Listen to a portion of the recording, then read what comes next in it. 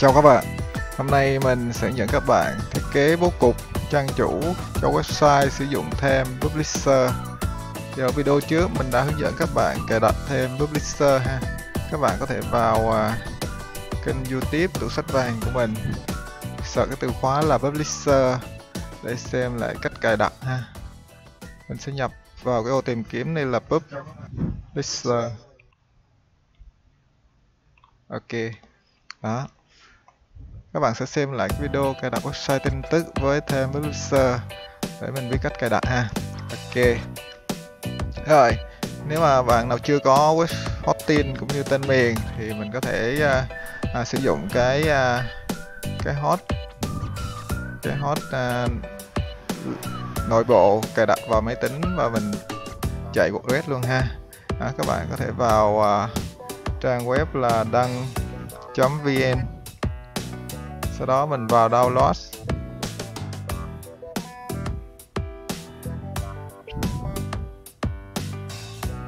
Đó, các bạn vào download ha. Và mình à, sẽ vào thư mục à, thêm. Rồi vào thư mục Intone WordPress mình sẽ tải cái tập tin à, uh, Publisher à, Intone WordPress này về để giải nén ra ha. Ok. Đó thì đây là cái thư mục mà mình đã giải nén ra Publisher info red các bạn mở vào thư mục này và mình chạy cái tập tin là info red.se ok. Đó. Thì đây là mình sẽ sử dụng bộ red nội bộ trên máy tính luôn ha. Và không cần phải mua hosting cũng như tên miền. Ok. Sau khi chạy cái tập tin info red.se thì uh, các bạn sẽ mở cái bảng nó lên và mình copy cái URL của website ha. Copy. Đó. Sau đó mình vào uh, trình duyệt. Các bạn mở một cái tab mới lên. Đó. và mình dán mình dán vào đây. Đó. thì đây là cái website à, mà mình sử dụng Intune Red mình đã cài đặt sẵn uh, thêm publisher và 20 cái plugin đi kèm ha. Các bạn chỉ việc vào mình chạy cái tập tin Intune WordPress và mình uh, copy cái URL dán vào trình duyệt là xong. Ok. Đó mình sẽ đợi nó load trang web ha. Rất nhanh. Đó. đây là cái giao diện publisher mà mình đã cài theo cái bản demo bản demo ha. Và mình sẽ hướng dẫn các bạn à, thiết kế bố cục cho cái trang chủ à, theo cái mẫu demo này. Ok, đó. các bạn sẽ đăng nhập admin ha. Mình gõ là admin. Đó. Sau đó mình sẽ đăng nhập với user là admin, mật khẩu là password.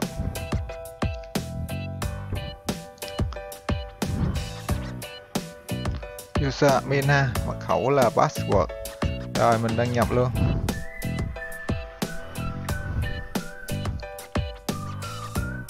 Rồi các bạn sẽ tạo một cái trang mới để mình à, demo ha. Mới trang. Đó. mình sẽ đặt tên. Cho cái trang này là demo. Đó.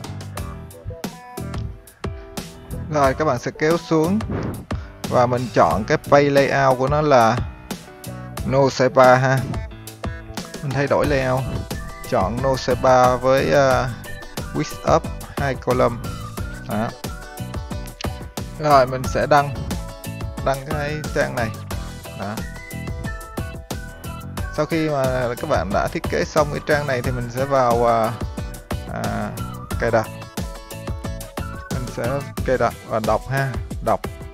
Rồi mình sẽ chọn cái trang demo đó làm trang chủ. Ok đó. Rồi mình sẽ mở cái trang cái trang à, demo này lên ha. Vào trang lại. Đó. Rồi, mình sẽ xem trang. Nhấp vào cái trang demo mà mình mới vừa tạo. Rồi, sau đó mình sẽ bắt đầu thiết kế ha. Các bạn vào edit with WordPress Bakery Page Builder đó.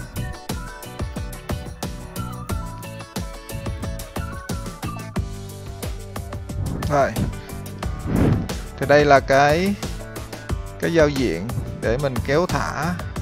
Bố cục lại cái trang chủ này ha. Ok đó. Mình sẽ thiết kế theo cái mẫu uh, trang chủ demo mà mình đã cài đặt ở video trước. Đầu tiên nó là một cái banner dạng lưới ha dạng lưới. Các bạn sẽ ờ, kéo xuống và mình ạ à, một cái element. Đó ở trong này ở cái thẻ on là tất cả các item của nó ha. Đó, mình muốn tìm nhanh thì mình sẽ vào từng một cái từng cái tab một. Ví dụ mình chọn cái bố cục à, banner thì mình sẽ vào cái publisher đó, publisher là chuyên cho cái thêm này ha. Đó, những cái thiết kế chuyên cho cái thêm publisher này. Đó các bạn sẽ chọn cái dạng dạng lưới. Nó có cái hình icon này tương tự như bên ngoài vậy ha các bạn chọn modern grid 1 đó. ở trong cái modern grid 1 này à, các bạn sẽ à, chọn một cái kiểu. Ở đây nó có bốn kiểu ha. Thì mình sẽ chọn là symbol gradient là kiểu đơn giản thôi. Rồi ở đây nó nó hiển thị à, cái chuyên mục tên là Radrit Radrit ha. Rồi mình sẽ chọn à, mình sẽ qua tab thứ uh, 3 post filter. Và mình chọn cái chuyên mục là Radrit ok. Đó. Rồi, mình sẽ save change lại. Rồi, các bạn tắt cái bảng này đi. Sau đó mình update ha. Sau khi update thì các bạn refresh lại. Sẽ có cái ảnh. Mình đợi nó update.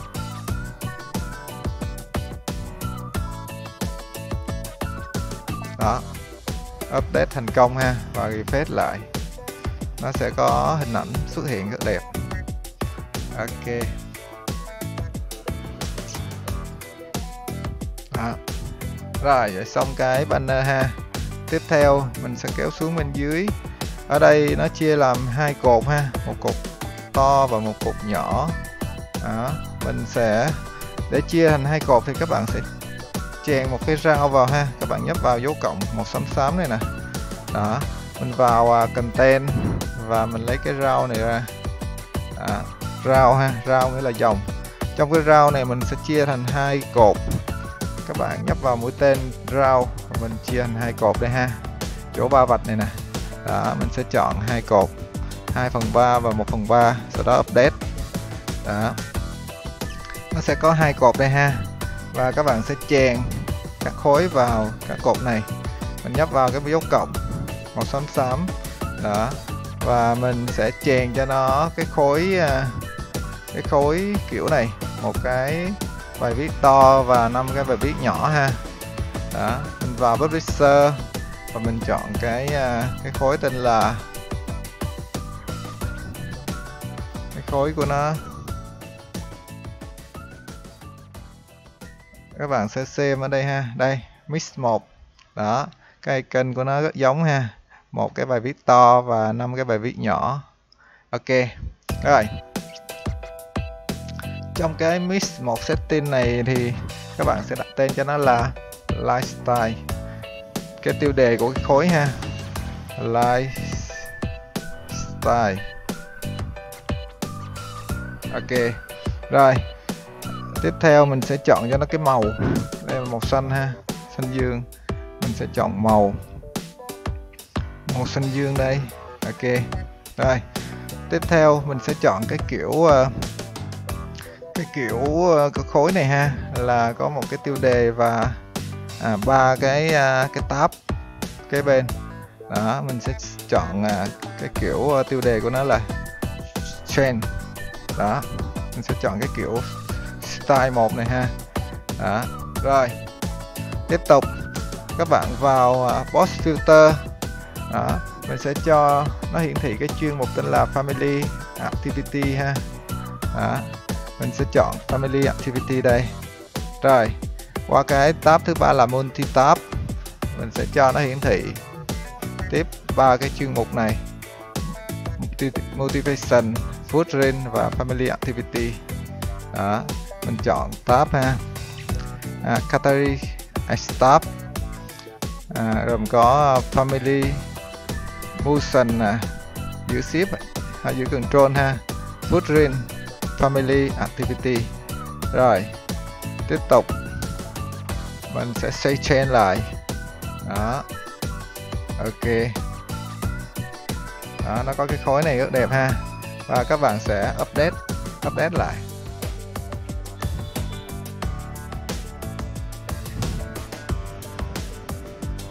Mình sẽ đợi cho nó update xong thì mình mới refresh lại ha. Ok refresh lại.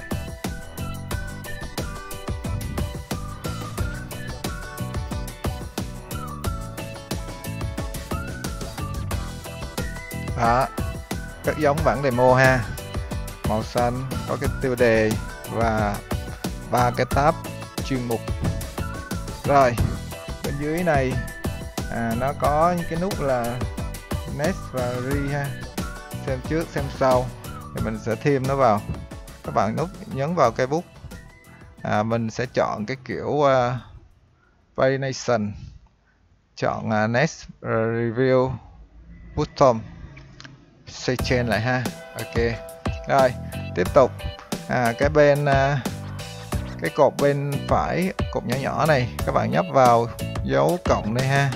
Dấu cộng và mình sẽ thêm mình sẽ thêm một cái mạng xã hội tám cái mạng xã hội này ha. Đó các bạn các bạn vào uh, content. Đây nó có better social counter. Mình chọn cái này ha. Rồi mình sẽ chọn 8 cái mạng xã hội cho nó hiển thị. Đây là cái tiêu đề stay with us. Rồi mình vào uh, style chọn cái kiểu này.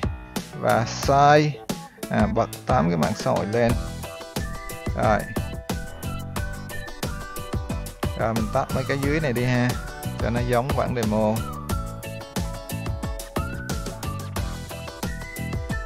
Ok. Đó.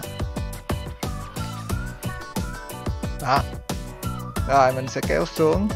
Tiếp tục bên dưới này nó sẽ có cái cái khối tên là fashion đó, nó có nó dạng à, hai cột ha. Có hai bài viết to ở trên và sáu cái bài viết nhỏ ở dưới. Đó mình sẽ à, nhấp vào cái dấu cộng màu vàng này nè. Mình sẽ vào publisher và mình thêm uh, cái khối mix 5 này ha. Mix 5 đó. Mình sẽ sử dụng chuyên mục là fashion. Fashion. Ở đây cái tiêu đề mình ghi là fashion. Thời trang. Đó và màu của nó là màu hồng. Màu hồng ha. Chọn màu. Màu hồng. Rồi. Tiếp tục. À, cái default heading mình sẽ chọn kiểu uh, style một nữa. Rồi. Qua cái box filter các bạn chọn fashion rồi. Qua cái multi tab mình chọn là category stop ở đây mình sẽ cho nó thêm hai cái chuyên mục này vào. Đó. Rồi. À, pay nation phân trang chọn next và review. Rồi xây chain lại ha. Ok. Đó. Rất đẹp. Rồi. Tiếp tục. Bên đây là nó có một cái bảng quảng cáo ha quảng cáo, thì à, các bạn sẽ à, chọn là nhấp vào cái dấu cộng màu vàng này. Mình à, sẽ thêm cái box box cái hộp quảng cáo.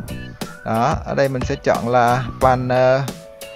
Và kích thước của banner này là 300 x 250 rồi xây chain lại. Ok. Đó.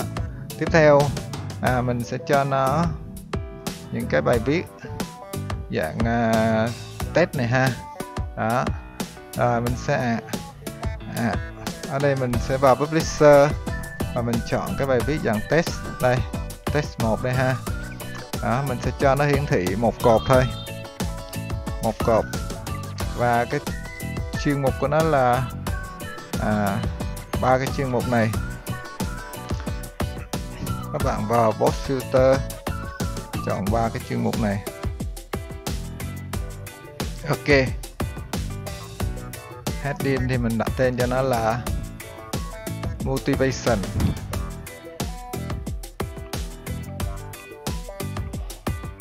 Đó, mình cho nó cái màu màu cam ha. Ok, đó xây trên lại. Rồi, các bạn sẽ update cứ mỗi lần mình thao tác là mình update sau đó mình refresh lại xem nó có giống. Nó có giống uh, bản demo chưa ha? Ok refresh lại. Đó. Rất dễ ha các bạn chỉ việc chia khối và mình sử dụng những cái item có sẵn trong Publisher là mình sẽ thiết kế được cái trang chủ này. Ok đó. Tiếp tục bên dưới này nó sẽ có một cái khối ba cái cột này ha ba cái bài viết này. Chung một cái chuyên mục là Ratrit đó các bạn sẽ không sử dụng cái màu vàng này nữa. Dấu cộng màu vàng nữa mà mình sử dụng nguyên cái dấu cộng cho cái khối này. Đó, các bạn thêm một cái rào rào chọn content rào đó trong cái rau này mình sẽ cho nó cái nền là màu xám này ha. Đó.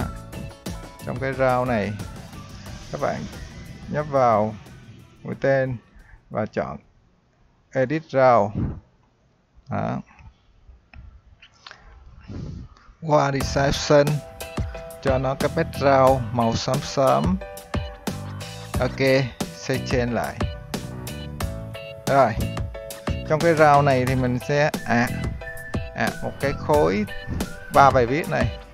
Đó, các bạn vào publisher chọn cái khối uh, modern read 3 này ha đó. đó. Ở trên này mình cho nó thụt xuống vào cái giữa vào giữa cái khối này ha. Các bạn chọn description à. Đây. Ở trên cái margin này mình cho nó khoảng à, 40 pixel đi. Rồi xây trên lại. Rồi. Ở đây mình chọn chuyên mục là Radrit à, box filter chọn à, uh, Radrit đây. Ok. Rồi xây trên lại. Rồi gỡ giống demo ha. Tiếp theo là cái khối bên dưới này mình sẽ làm tương tự như vậy. Đó. các bạn sẽ làm tương tự ha. Tương tự như cái khối bài viết ở trên. Rồi thôi video tới đây là cũng khá dài rồi ha. À, mình sẽ kết thúc ở đây.